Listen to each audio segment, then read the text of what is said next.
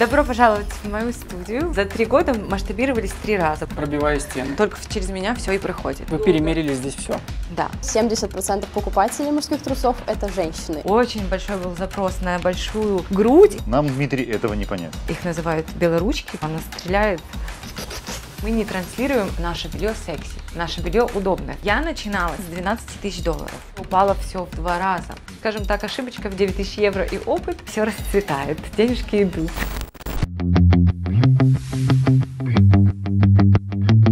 Всем привет! Это спецвыпуск рабочей группы совместного проекта про бизнес и Альфа-банка. Как и обещали, в новом сезоне мы отправляемся к героям прошлых выпусков, чтобы посмотреть, как изменился их бизнес и как они реализовали те советы, которые давали им менторы рабочей группы. В прошлый раз мы ездили в мастерскую по ремонту обуви Skycross и разговаривали с ее владельцем Алексеем Калинчуком. Посмотреть ролик можно здесь. Сегодня мы приехали в гости к очаровательной владельце бренда нижнего белья Lovelace Карине Пудиной. Сейчас мы находимся в самом сердце бренда. Это шоурум, где можно померить и приобрести комплекты нижнего белья. Карина согласилась провести нам экскурсию и рассказать, как устроен процесс.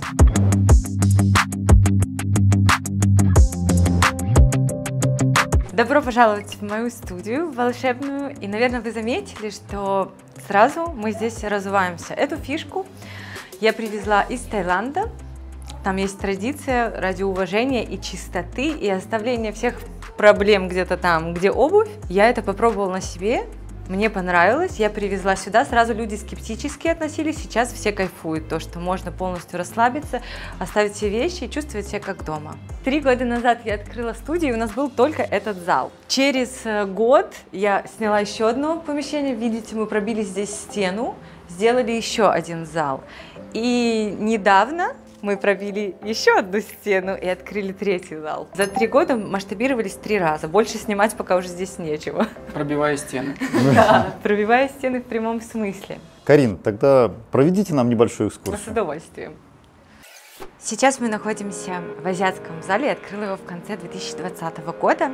Дизайн всегда мы сами продумываем, у нас нет никаких дизайнеров интерьеров.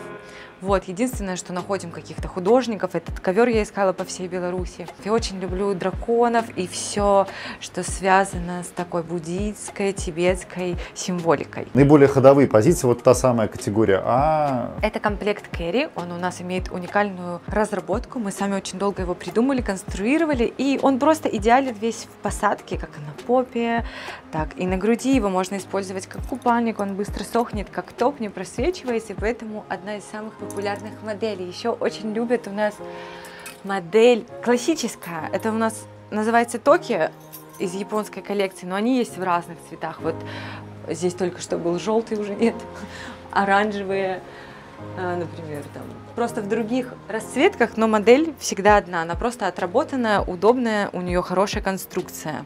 На рабочей группе вам задавал вопрос, насколько вот, вот подобные вещи, они удобны в эксплуатации ежедневной. Это очень удобно, потому что женщины в течение месяца, они все время меняются в объемах. У нас есть такая, ну, каждая женщина будет на 2-3 килограмма меняться.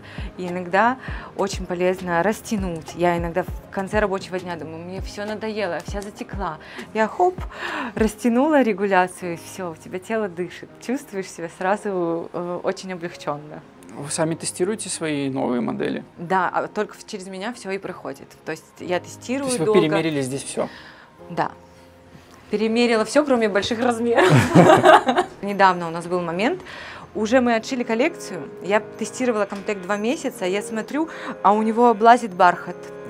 И что делать? У нас запуск. Мы сделали большую скидку, 50%, я так и сказала. Этот комплект а, он одноразовый. Нет, он не одноразовый. Его, нужно, его можно носить, он прослужит вам лето там, или больше, но его не нужно носить каждый день и ни в коем случае стирать в машинке.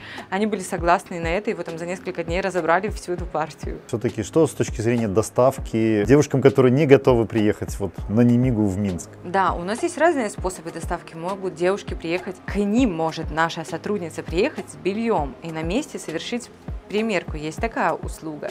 Есть курьерская просто, есть ДЭК, есть почта, в любую точку мира отправляем. Также мы еще практикуем выезды, это как гастроли по городам. Вот сейчас у нас был тур по четырем городам значит, арендовываем как поп-арт. Клиентки приходят, примеряют белье, кто-то даже может не брать, но он уже знает, что ага, у него кэрри, там размер С, и когда пройдет время, она решится на покупку, она уже может онлайн смело заказать. Получается, у вас точка контакта это в основном Инстаграм или еще что-то есть? У нас есть Инстаграм, у нас есть сайт, офлайн магазин и да, вот иногда туры, когда мы тоже по городам ездим. Это больше имиджевая история или она действительно и имеет... прибыльная и прибыльная, еще. да? Угу. Но мы заранее девушкам предлагаем приобрести сертификаты, они приходят и просто его обналичивают, уже выбирая угу. белье. А вот в структуре офлайн, онлайн какая доля какого канала занимает? А, офлайн больше. Больше все Немножко, да. Все-таки девушки любят сюда приходить и, может быть, имеет смысл думать о, о открытии еще студий каких-то, да, но пока еще наблюдаем. То есть вы растете в ассортименте в количестве в единицах? В том числе, да, добавляем новые какие-то товары. Вот сейчас у меня там перчаточки добавятся, чтобы летом ручки не обгорали или осенью. Новые чокеры, что у нас еще, корсеты появятся. Да, добавляем, ведь женщин сходит много. Почему бы мне им сразу не предлагать еще какие-то товары помимо белья? Карин, я слышал, что у вас появилось что-то для мужчин. Появились трусики, которые мы шуточно зовем Лавелас, потому что кто не знает английского, все время наш бренд называют Лавелас. Покажите, где? Пойдемте, покажу лавеласы. Вот это мужская модель лавелас, но интересный факт, что большинство приобретало эту модель даже девушки. Просто ходить по дому в мужском белье, это тоже удобно. Я тоже иногда тренируюсь в мужских, это же как шортики. Вот, у них есть две модели с кармашком, ну, с открытой штучкой, и закрытой. А, вот кармашек. Да. Какие Вот. больше спросом пользуются? Это мы можем пригласить консультанта и задать ей какие-нибудь вопросы. У нас в студии представлены мужские трусы, и на моем опыте 70% покупателей мужских трусов — это женщины. Но если и приходят э, мужчины за мужскими трусами, то их приводят женщины. А вообще мужчины очень любят наше место, им нравится здесь находиться, потому что здесь атмосферно и комфортно, и, в принципе, все располагает для того, чтобы чувствовать себя не скованно. В самый разгар каких-то акций студия может продать приблизительно до 100 комплектов в день.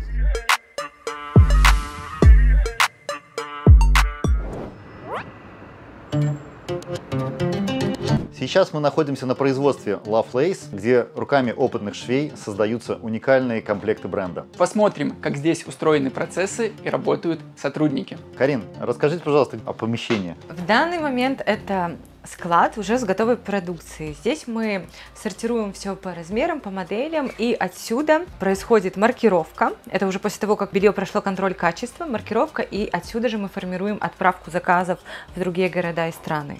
Я, кстати, вижу очень интересное сочетание цветов. А что это? Да, это очень трендовое сочетание этого лета.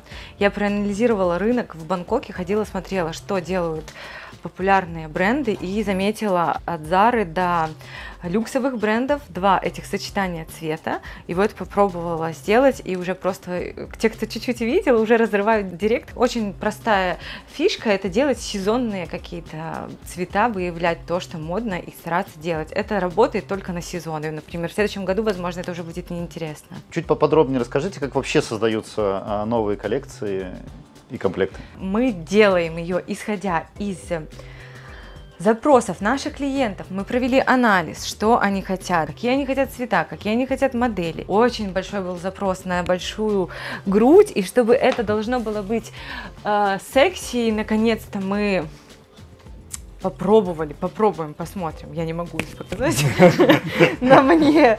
Но, кстати, самый дорогой в себестоимости. Мы посчитали уже стоимость, которая должна была выходить. Я попросила ее еще немножко снизить, потому что это слишком было бы дорого. Был бы самый дорогой комплект у меня в бренде, потому что он технологически очень тяжело шьется на большую грудь. А за счет чего себестоимость формируется? Ну, Что- посмотрите. Что самое дорогое? Ну, а здесь, если сравнить комплект, например, на маленькую грудь и на большую, здесь нет косточек, здесь мало ткани, здесь все просто. Если мы берем большой, здесь уже другая застежка, другие регуляции. Посмотрите, какая отделка. Слишком много всяких. Двойная ткань. Вот, потому что э, должна быть крепкая конструкция. Нам, Дмитрий, этого не понять. И сколько времени надо на создание новой коллекции? Как часто вы обновляете? Эту коллекцию мы создаем полгода уже. Сколько единиц? Много. Вот вы видите, здесь отшито. Э, вот то, что стоит вот здесь внизу, это идет все в э, новую коллекцию. Сразу запуск делается, и потом мы смотрим, что хорошо идет, и будем параллельно дошивать. Зашивать еще. Давайте тогда чуть поподробнее. э, Сколько у вас работает швей, как вообще идет процесс э, отшива и производства? У нас два помещения. Есть на ни- нижнем этаже, и вот этот основной мы здесь снимаем уже, наверное, около пяти помещений, разбрасываемся. Машин больше, чем швей, потому что не может быть все время задействованы все машины. Нужны определенные операции. Приблизительно в каждом помещении работает от 4 до 5 швей, иногда там у них выходные, вот, на постоянке. Поэтому около 10 швей, есть конструктор, есть управляющие, есть технолог, контролер качества, есть люди на складах. Сколько вообще плюс-минус вот людей задействовано в производстве, в контроле качества, вот, с учетом конструкторов? Около 15 людей. Какой вот объем производства, сколько в день, в день комплектов э, вот эти люди могут отшивать? В день не скажу, ну, ну, в неделю может быть тысяча единиц, например. Единицу мы считаем и трусики, и, э, и лиф. Это может быть, если хорошо. Туда же можно добавить стрепы, да. Иногда может быть больше, иногда меньше. Это зависит от сложности комплекта, потому что если взять какие-то легкие комплекты, и опять-таки мы возьмем вот этот самый дорогой, который я вам показала, он не только в тканях тяжелый, он сложный и в самом производстве. Время, количество операций. Создать такое производство, это какие деньги? Я начинала 4 года назад с 12 тысяч долларов. Сейчас, конечно, здесь уже гораздо больше э, вложено, но я на- начинала с одного помещения. Я сняла его, очень недорого, кстати, и за 12 тысяч долларов я купила и часть материалов, и комплект машин, принесла из дома гладильную доску, утюг, стулья, чтобы посадить швей, и мы начали делать с двумя швеями. Вот. Сколько примерно стоит одна швейная машинка? Я думаю, средняя цена будет 2000 долларов. Какие-то могут стоить меньше, какие-то стоить гораздо больше. На создание одного комплекта нужно профессионального 6 машин. Иногда нужно больше, смотря какие операции. Но я начинала, по-моему, с 6. Сначала отшивается какая-то одна операция, а потом Да, это все да, например, изначально они будут собирать только окантовку. Собирают окантовку, потом уже Наталья у нас пристрачивает это специально. Она сидит, например, у меня швея только на этой операции. У меня много регуляций, вот, и она застрачивает регуляцию. Она просто профессионал в этом, она стреляет четко, метко. Это, если посадить другого человека, он уже с этой операцией может так не справиться хорошо. Ну, то есть такая мануфактура. Что-то. кто- разделение? э, Они могут сшить Мгм. полностью кто-то комплект, но просто они делают каждый то, что у ко- у кого получается лучше. Карина, а если у вас сейчас мануфактура, можно ли автоматизировать как-то вашу работу? Чтобы не швея руками, пусть высокопрофессионально все отшивала, а, допустим, Робот? робот, станок. Э, Какие-то операции возможно, но мне еще такого оборудования не попадалось. Швеи сейчас очень ценятся, и именно их называют белоручки, которые шьют белье. Это очень узкая и очень тонкая направленность. Человек, который шьет пальто, он не может шить белье. Это супер маленькие операции, очень точные. Поэтому я за своих швей держусь, с ними работают долго, никуда не собираются уходить. Мне главное им дать понимание, что они здесь могут работать, а, пока существует эта компания. Вот, потому что такие кадры очень ценны вообще на рынке, их найти сложно. И более того, их научить. Мы тоже создавали что-то, да, я не пришла профессионалом, мы учили и вырабатывали какие-то свои техники. Карина, так а как вы искали этих белоручек? Искала долго, несколько Где? лет потратила. Просто в любое свободное окно стучалась, там, не знаю, куфор, онлайнер, какие-то инстаграм, шаг за шагом я просто что-то делала, а потом уже клубок сам начал разматываться. Конечно, у меня сейчас в компании есть HR, и все это проходит, ну, я абсолютно не занимаюсь. Они знают, какие нужны требования, но мне понадобилось два года, чтобы найти хороших специалистов. Сейчас мы находимся в нашем последнем зале, он еще даже не доработан. Здесь проходит распродажа старой коллекции, чтобы скоро впустить новую. Как часто вы делаете распродажи и что, что сейчас со спросом? Распродажи делаем периодически, потому что людям нравятся скидки, мы заметили. Лучше всего у нас генерируют выручки, это какие-то скидки. И, кстати, из последних исследований 30%. Было разное. Два комплекта по цене одной, 30 комплектов, там несколько стрепов подарок.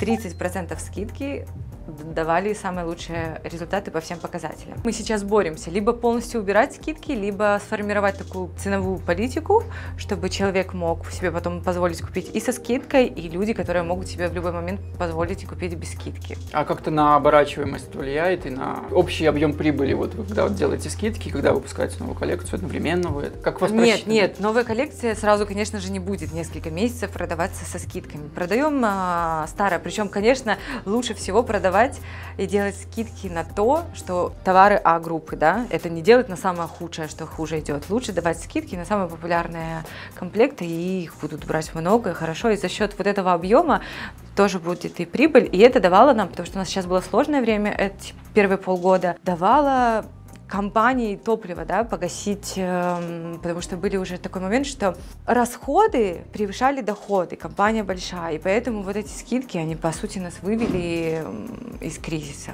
Ну и то есть получается, что даже давая 30% на вот категорию А, то есть самый ходовой товар, вы все равно остаетесь рентабельными. Да, если это продается большим количеством, да, остаемся. Вообще, как подбираются ткани, откуда вы их берете? Ткани собираем по всему миру. Для меня очень важно это тактильное ощущение. Все ткани проходят, вот я их люблю Можно- можно приложить попробовать. к личику, да, можно потрогать. Что я должен почувствовать? Они должны быть э, не жесткие, они должны быть мягкие, чтобы девушка хотите ведь попробовать? целый день в них будет ходить. Вот, поэтому мне нравится покупать в Европе ткани. С этим сейчас стало сложнее, но это возможно. Всегда возможно все. Главное долго стучаться. Карин, я понимаю, что при желании можно найти выход из любой сложной ситуации, но все-таки, вот с учетом сложности с логистикой, где-то запрета на продажу тканей, как вы выходите из этой ситуации, насколько, может быть, подорожали для вас закупки и как это соотносится с экономикой в компании? Да, безусловно, стало дороже. И когда мы просчитали стоимость новой коллекции, меня даже немного испугало, потому что все комплекты стали стоить больше 200 рублей, и мне это непривычно было. Вот, и мы полтора часа совещались, думали, оговаривали, что мы сделаем. Мы все-таки решили приблизительно такие цены оставить, в среднем 200, но периодически будем давать скидки, да, для тех, кому это нужно, но уходить в другой ценовой диапазон. Приблизительно поднялись где-то на 15-20% цены. До этой ситуации вы себя э, соотносили с каким ценовым диапазоном? У нас в среднем можно было комплект э, купить за 160-180. Было что-то дешевле, что-то Мгм, дороже. Сейчас, мне кажется, уже у меня средний будет 180 где-то.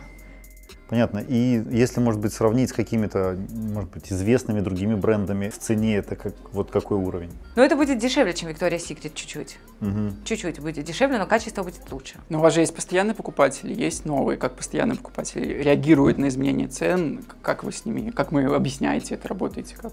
Мы всегда предупреждаем, если мы делаем какое-то сезонное, э, вынужденное поднятие цен небольшое, там оно бывает от 5 до 10 процентов, мы предупреждаем, что через месяц у нас будет поднятие цен. Как вы В Инстаграме даем всегда, об этом напоминаем. Вот они покупают, кто хотел купить подешевле. Но большинство людей действительно это любят, любят экономить, и это нормальная, адекватная черта. Вкусный, интересный, женственный кейс, бренд Lovelace. Я бы все-таки очень внимательно прокачал портрет ключевого клиента. поработать по модели ф- франчайзинга. Довести мужскую аудиторию до больших цифр. Я думаю, что какие-то ошибки вы сможете переварить.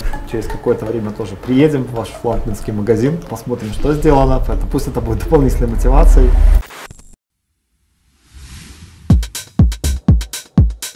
Давайте все-таки обсудим результаты вашей работы. Прошло 8 месяцев со времени эфира. Вы приходили к нам с определенными вопросами, менторы давали вам советы, и хотелось бы же понять, что получилось, что не получилось, что вообще сделано. Первый вопрос, как такой на- наиболее, наверное, такой актуальный и для меня, как для финансиста, более интересный, это что с финансовыми показателями, в первую очередь с выручкой. С выручкой у нас был рекорд в феврале. Да, был рекорд, и мы такие, вау, вау, классно, идем. И потом все очень на несколько месяцев упало все в два раза. И это было просто шок, потому что затраты уже были совершенно другие. И это продлилось несколько месяцев, по чуть-чуть мы начали выбираться. Сейчас снова отличные показатели. Я думаю, этот месяц будет хороший, следующий будет определенно рекорды тоже, потому что новая коллекция это тоже всегда рекорды. Лето всегда новое дыхание, девушки раскрепощаются, хотят больше приобретать белье, ну и просто такой романтический период. Моя любимая фраза это кризис, это зона роста. И мы начали пробовать новые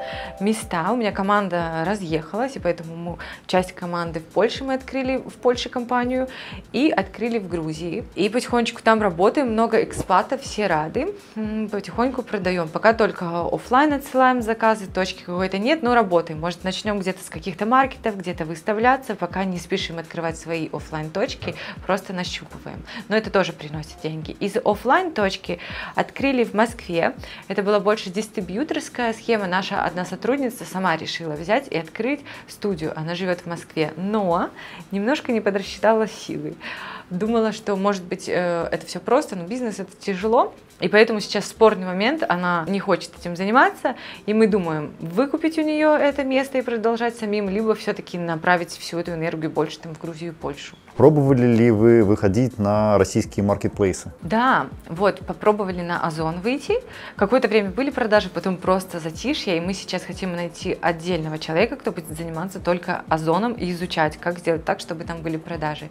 Wildberries не хочу, мне не нравится процесс, когда нужно куда-то на какой-то склад отправлять белье. На Озоне мне нравится, потому что мы сами отправляем со своего склада белье, я знаю, что оно хранится у меня. И в Польше выходим на эти, в Грузии хотим наоборот попробовать маркеты. Там в Грузии же тоже много дизайнеров. У них модно ярмарки, маркеры. Mm-hmm. Ты просто собираетесь, и там тоже очень много экспатов. Э, все только ждут своих. Сразу же вопрос про франшизы. Вы на рабочей группе говорили, что вы против. Но сейчас вы в Грузии, в Польше, в Москве. Может, вы уже пересмотрели свой подход? Пока еще нет. Вот видите, это тоже так, такая... А дистрибью... Почему? Дистриб... Так посмотрите, потому что многие думают, что я сейчас залечу, и это легко. И никто не понимает реально, сколько нужно в это вложить сил, и что это не просто вот я купила франшизу, и ко мне сейчас будут ходить. Все намного дальше. Поэтому уже момент с Москвой меня научил. Хорошо, что это не франшиза, но и то это человек из нашей компании. Она знала, как это оформить, она многое знала о белье, и все равно у нее сложности. Это не все так просто, как все думают. Лучше мы маленькими шажками будем думать, как мы сами можем открывать эти магазины. Так а все-таки какие планы в Грузии, в Польше? Вы по чуть-чуть показываете, демонстрируете. Дальше что? Работаем с блогерами, там сформируется своя команда, изучаем, это же отдельные рынки, то, что работает здесь, не факт, что mm-hmm. работает там, там даже может быть белье другое понадобится, вот. Пока уже научились хотя бы доставлять это все официально, было сложно, никакие брокеры не хотели за это браться, но этот лед тронулся, доставили белье, потихоньку что-то делаем. Мы говорили о том на рабочей группе, что вам нужен э, маркетолог. Ага, мы пробовали найти э, эту девушку, мы ее нашли, она не выдержала. Почему не выдержала? Ну, сложно было, ну, не знаю, наверное, она поняла, говорит, у вас проблемы не в маркетинге, с маркетингом у вас все хорошо. Она говорит, вам нужен антикризисный менеджер, и она нам посоветовала молодого человека, и мы действительно взяли его в компанию, сейчас он с нами работает, вот уже с января, с начала года. Он из Риги. И это очень сильно нам помогло. Во-первых, это стал первым мужчином, на, разбавил нашу женскую такую компанию. И у нас появились какие-то более технологические процессы, IT, мы там вот ушли. Вот, в принципе, то, что появилась Польша, Ламода. У нас появились еженедельные борды, когда мы собираемся э, либо с топами, либо команда стала больше созвонов, какие-то другие процессы. Вот этого мужской какой-то логики не хватало. Но результаты вас первоначально радуют, да? Они не получились такие, как были заявлены. Мы все чувствуем изменения в компании, и этот рост, он тоже чувствуется. Я знаю, что он будет, нужно просто подождать несколько месяцев еще. Слушайте, а конкуренты ваши, вот я сейчас проходил, тут два магазина нижнего белья женского. Один из них белорусский, тоже бренд, который тоже сам отшивает. Как вы, вы с ними соревнуетесь, вы на них смотрите, они на вас смотрят. Что с конкуренцией происходит? Конкуренцией что происходит? Единственное, что я делаю, это, наверное, иногда исследуем конкурентов, у кого есть магазинчики, у кого, у кого какие цены, кто что шьет. Конкуренты, думаю, нас исследуют больше, больше копируют. Это мотивирует нас придумывать другие модели, более сложные, уходить в технологические процессы, следить за качеством. Вот сейчас я доросла до такой точки, когда э, мы создаем ККК, кружок контроля качества. Я это прочитала у японцев и поняла, что нам это не хватает, что я должна не просто красивое выпускать белье, мне нужно добиться такого качества, в принципе, в компании, в производстве, как они говорят, кайдзен. Постоянный непрерывный эффект э, совершенства. Мне это очень нравится и близко. То есть вы изучили подход Toyota. Toyota, да. Да, чуть-чуть, изучаю. А чем вы лучше, чем Victoria's Secret? Потому что за Victoria's Secret нет человека, какого-то мышления. Мы ничего не знаем. Мы знаем, что есть бренд Victoria's Secret. За нашим брендом стоит определенный человек, его мышление, и оно уже развивается. Это и психотерапия для женского тела, это и помощь бездомным животным, и это не просто сексуальность. Сексуальность это в первую очередь белье, это комфортное, это для стиля жизни, для удобства. И уже плюсом ты получаешь сексуальность. Но мы не транслируем это как первое. Наше белье секси, наше белье удобное прежде всего. У вас, Карина, я помню, была такая голубая мечта. Это свое некое пространство. Ну, я понимаю, что сейчас, наверное, может быть, говорить об этом бессмысленно, но вообще мечта-то осталась? Мечта, да, мы не смогли вытянуть это, мы закрыли, потратили на ремонт где-то 9 тысяч евро и поняли, что лучше сейчас схлопнуться, чем продолжать платить, чем, например, не платить команде. Мне команду было вы- вытянуть гораздо сложнее. Плюс там начались недоговоренности с строительными, и это как бы нас научило в следующий раз лучше читать контракты, лучше изучать все условия, поэтому, скажем так, ошибочка в 9 тысяч евро и опыт, плюс часть команды уехала, уже вроде как оно и по-другому все смотрится, и ты сейчас не такие ценности, да, сейчас уже не хочется замахиваться на недвижимость, что-то строить, лучше я буду в какие-то технологии, в усовершенствование качества. Звучит все время команда, команда, а, но вы же олицетворение бренда, вы та самая движущая сила, вы уедете, меняется интерес, что будет с брендом. Вы себе смену растите, либо в команде кого-то вы выращиваете. Всех выращиваю, они все растут, и я же всегда уезжаю. Минимум полгода на Авазии, на Бали, в Таиланде. Там я тоже занимаюсь бизнесом. Я сейчас нащупываю моменты производства на Бали. Мне очень нравится, потому что они хорошо делают руками. Все. И когда я возвращаюсь, я называю это эффект золотого единорожки. Все расцветает, денежки идут. Легко и приятно. Поэтому возвращаться, безусловно, надо. Если уезжать, просто уехать, собственник уедет и не будет возвращаться, я не думаю, что это будет хорошо для бизнеса. Один из советов менторов был изучить портрет клиента и вообще понять, э, кто клиент, э, чем он занимается, чем он живет. Э, Вы как-то работали с этим? Да, работали. Это интересная тема.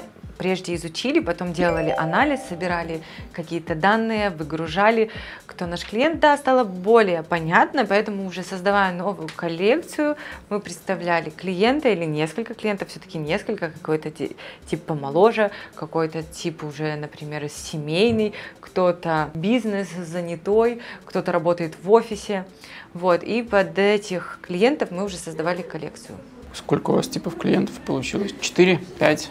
Ну, можно разбить, конечно, на несколько, но это могут быть парни, это есть у меня молодые девушки 18-19 лет, они тоже есть, но их мало. Больше всего это 30 плюс. Мужчины часто девушкам покупают? Да, часто. Мы, кстати, тогда, я помню, воспользовалась этим советом и стали больше таргетировать сертификаты. Это хорошо сработало, да. Вот. И они приходят, я вижу, что мужчины и сами приходят, и за сертификатами приходят с девушками, всегда могут подождать здесь, расслабиться на диванчике, либо подождать в примерочной, места хватает. Парни тоже отдельный вид будем, и уже хочу следующий вид создавать мужского белья для мужчин, но для этого тоже проведу аналитику, кто какую носит, чтобы создать то, что парням нужно. Какие планы на будущее? Это выйти, наконец-то, в плюс, хороший, чтобы наша компания приносила прибыль, сделать финансовую подушку безопасности и, конечно же, все-таки добиться, как мы и хотели, выйти на миллионную прибыль. Это возможно, если мы будем работать вместе с нашими странами ответвлениями. Пока с одной Беларусью сложно представить. У людей э, доходы падают, и, соответственно, скорее всего, как раз нижнее белье это может попасть в ту категорию, которую люди будут покупать в, меньшем, в меньшей степени. Степени. Что вы думаете по этому поводу? Ну, значит, они будут экономить на удовольствии. Не знаю, я бы не экономила на удовольствии. У нас покупают не просто белье, они у нас покупают эмоции. Быть частью этого бренда, этого сообщества. Тут куда больше. Это не просто белье, это огромное уже комьюнити. Здесь множество фанаток. Раз столько об этом говорят в Беларуси, то, может быть, у нас есть шансы, чтобы об этом говорили и в других странах. Карин, Спасибо за экскурсию и подробный разбор результатов вашей работы. У вас очень яркий и красивый бизнес, которому мы, конечно же, желаем удачи. Спасибо за приглашение второй раз. Спасибо. Друзья, проект «Рабочая группа» продолжает ездить к своим героям, смотреть, что происходит в их компаниях. Возможно, в следующий раз мы приедем к вам. Поэтому следите за нашим проектом, подписывайтесь на наш канал на YouTube, читайте про бизнес, подписывайтесь на наш канал в Telegram. И всем успехов! А самое главное, делайте, потому что каждый из вас способен на большее.